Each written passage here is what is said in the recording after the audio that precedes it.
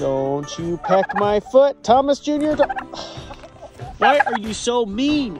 Old Tom was so nice. Why are you just mean? I don't. Ow! Look at that. One more peck, and I'm gonna put you on Craigslist. Put you under the uh, category of free on Craigslist. Tina, you're a sweetheart. You can stay. Thomas, you are just mean.